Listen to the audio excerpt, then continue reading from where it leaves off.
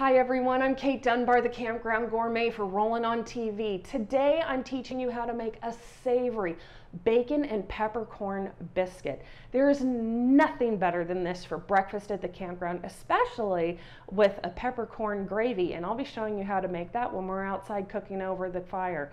Let's talk about ingredients. I have self-rising flour. I've got some thick cut bacon that I've already cooked up ahead of time. I have some fresh ground black pepper. I've got some butter and I have some buttermilk. This recipe couldn't be any simpler for you.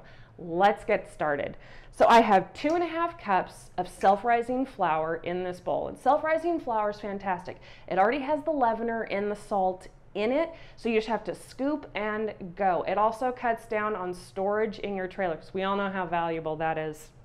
And now I'm going to add in the black pepper. I've got one tablespoon of that. And I'm going to give this just a good little mix around. You can use your hands, you can use a wooden spoon, whatever works for you. And I've got the quarter cup of butter and I've sliced it into cubes. And here's my first trick for you take your hands and just lightly toss the butter in the flour. You want to coat it. That way, when you start to work the butter in, there's already flour protecting it so it doesn't get as sticky. So I'm just gonna take it, I'm just gonna squeeze it into the flour really gently. You don't wanna overwork this because you don't wanna melt the butter into the flour. You want it to be almost like shingles. So you're just gonna take the butter in your hand and just kind of squeeze and press it through into the flour just until it's distributed evenly. Like I said, you don't wanna overwork this. And if you're looking for self-rising flour, if you can find it right over there, White Lily is the one that you want to use. For generations, people have been cooking with this. They've been making delicious tender biscuits, high rising cakes, and pound cakes that are full of a lot of flavor and a lot of butter, but they're so soft. It's because it's red winter wheat, and that's what you want when you're doing baked goods. It makes a really great tender flaky crust for a pie too. And it comes with self-rising and it also comes um, with unbleached regular flour. So all of our butter is cut in. I have little pieces. You can see it's just finely pressed together. Now I'm going to take the bacon. Like I said, I've already pre-cooked this. And I've saved the bacon drippings in the cast iron pan because we're going to be making a bacon peppercorn gravy in just a minute. I've got a bunch of flour around here flying all over the place. Next, this is where you can make a choice. You can use your hands or you can use a spoon. Since I'm a baker by profession, I like to use my hands because then I know if the flour is too wet or too dry. Here's another trick. Don't add in all the liquid at once. Add in about half of it. Go all the way around the outside first and then just a little bit in the center. Take your hand and shape it into a claw. And you want to bring your dough all together around the outside turn your bowl, lift it up, do everything you can to just not overwork the flour. When you do that, your biscuits ending up get really tough. It's not fun because you don't want to bite into a hockey puck. You want to bite into a biscuit that's soft with that nice crisp outside. And here's how you know if you have enough buttermilk in it. You want to grab a little handful and hold it and squeeze it together and you want to see if it starts to crumble after you've pressed it. And mine's crumbling just a little bit, so I'm going to add in a touch more buttermilk.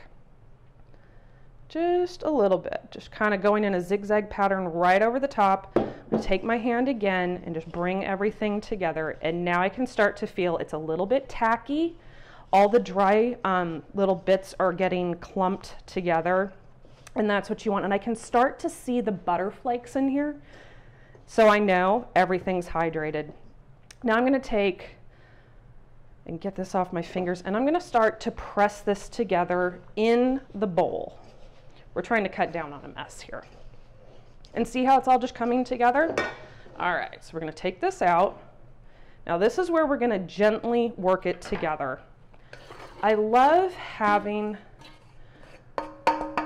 one of these plastic scrapers. You can get into a bowl, you can scoop ingredients off of a counter. And another thing, when you're cleaning your cast iron, you can use these large scrapers to get out any bits that might be stuck on. Now I'm gonna need some room, so I've gotta move my used ingredients holders off to the side. Now I'm not putting flour on this bench first because there's still some flour and everything needs to come together. I'm gonna press this out. I'm gonna try and keep it in the shape of a rectangle. Just press, and this is where it gets a little messy, and this is why having one of these scrapers helps. Grab the top and fold it over to the side, just kind of press it in, and then turn it. Do the exact same thing. Press it down, use the heel of your hand, bring everything together, just like that. The buttermilk is hydrating the flour. It's mixing with the butter. There we go. See how it's all coming together? I rarely use a rolling pin when I'm making biscuits because I don't want to overwork it. Like I said, that leads to a really tough biscuit. One more time. See how everything's just staying together? Turn it again, bring it all together, press it out, and we're almost there. You want the thickness to be uh, about an inch because we're gonna be cooking this over the fire in a Dutch oven and there's gonna be a lot of heat. So you're gonna need that thickness for it just so it all stays together and it cooks evenly. All right, we're just about done. I can see all of the flecks of the pepper in here and I'm trying to smush down the, uh, the bacon as much as I can and get everything in here. All right, biscuit cutter. There's a trick to it. And I didn't learn this until I was with a friend and I was at her house and her mom was making biscuits one morning. I've always been the person who put a biscuit cutter in there and kind of twisted and turned and then popped it out. Don't do that. That will seal the edges and by us folding over the dough, we've created layers and layers and layers of that butter that's in there and the buttermilk and especially the bacon. It's still gonna release some fat. And if you seal, if you turn, you're sealing the edges and they won't rise. So there's a little trick. So straight down and out. Now I have a lined Camp Dutch oven here two pieces of parchment. I can hear the bacon as the cookie cutter goes through it, as the biscuit cutter goes through it, crunching away. It's awesome. And all you want to do is take the biscuits and place them snug next to each other. There we go. Perfect. Now, if you wanted to add some more pepper flavor to this, try finding bacon, the thick cut bacon that has black pepper all around it. It's delicious and it will just leave um, traces of the peppercorns in your pan, in your cast iron pan. So when we're making the gravy, it'll all taste delicious and we won't have to add any extra. So just press this out again. You want to bring this together very carefully. We're not going to refold or do anything. We're just going to bring it together. And I like to leave the second batch of biscuits a little bit thicker than the first batch because they've already been worked once. And if you flatten them out too much, sometimes they don't rise as much. And I have room right here for two more. There we go. Just kind of smush these around a little bit. Okay, now my Camp Dutch oven is totally filled. And if you can see, there's a ton of layers right here in this biscuit. It's gonna taste delicious when it bakes up. There's some extra. What do you do with this? Well, if you're like me, you're gonna save it. You're gonna put it in a Ziploc bag and put it in your freezer. The next time you're making chicken and dumplings, use this. Just break off some pieces, pop it in the top, and cook it that way. Don't waste this. It's perfect. But if you have a larger, rounder Dutch oven, you'll be able to just press this together and put it in there. I'm gonna clean off my hands and let's head outside to the Camp Dutch oven table and cook these and make some delicious rich gravy. Okay, well here I am outside and I've got the coals nice and hot here. I've got the skillet that I cooked the bacon in earlier and saved all that fat in. It's warming up. Let's get that Camp Dutch oven on here and I'll show you how to regulate the heat to make some biscuits. All right, so I have a good bed of coals underneath and I've put a couple in the back because I'm gonna be pulling from those to place on the top. When you're making biscuits, you're gonna want more heat on the bottom and less heat on the top. If you're using charcoal briquettes to do this instead of lump charcoal or hardwood from your campfire, you're gonna put about 14 to 16 briquettes down below, evenly spaced, not all centered. You want it all around the outside, a few in the center, and then about 10, maybe 12 on the top. And see how I'm just placing this lump charcoal right around the top here. Now, if you're using lump charcoal instead of charcoal briquettes, remember, this is gonna be a much hotter fire, so you're not gonna need as many coals. You just wanna take it, I've heated up underneath. Now I'm just kind of pulling the hot coals out a bit because the heat's gonna hit around the side, it's gonna hit on the bottom and on the top, and that's how you're creating that oven, that all around heat. Just make certain that everything is kind of pulled out. This is evenly spaced. We're gonna go about two minutes and then we're gonna do a rotation and then I'm gonna turn the lid an additional 45 degrees. We don't let it sit here over the hot fire and cook because that'll create, well, burnt biscuits. And who wants burnt biscuits at the campfire? This is also a fantastic recipe for you to practice at home. Biscuits are one of the easiest things to maintain. You'll know where your fire is too hot. You'll know where your fire is too cool. And if you can make the perfect biscuit at home by practicing on a Dutch oven table or in your kettle grill, when you're at the campfire, it's gonna be quick, simple, and easy for you. So we're gonna let this go about another minute and a half and then I'm gonna rotate it. We're gonna get over here to the gravy. And like I said before, I saved a bunch of the bacon drippings. I have some butter here and I'm going to add that to it. Let's just get that around.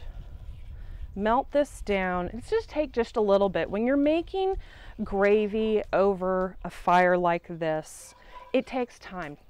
That's why I always like to start it the second that I get my biscuits over the hot coals. You don't want to wait. You want everything to be ready at one time.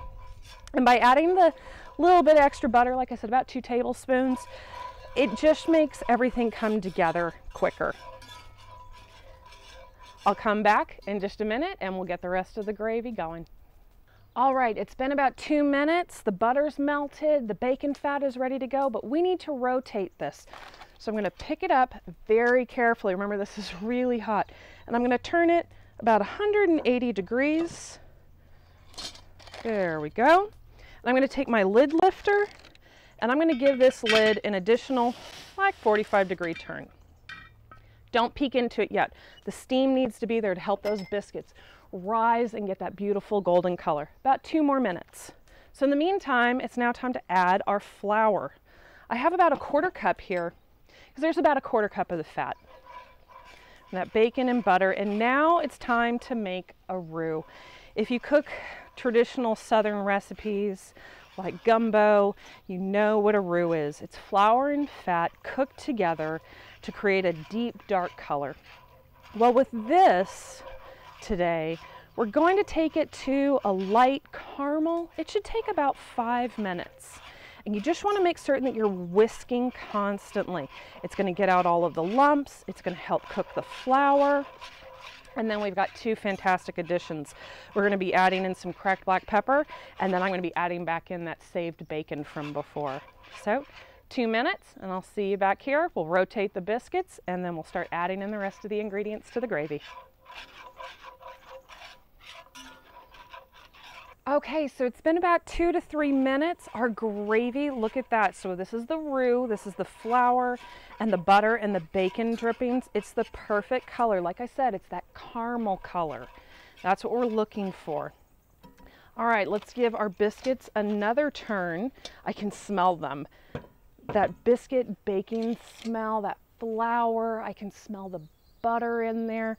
Can also smell the bacon and the black pepper. It's perfect. We're gonna give this about two minutes. And now let's add in our black pepper.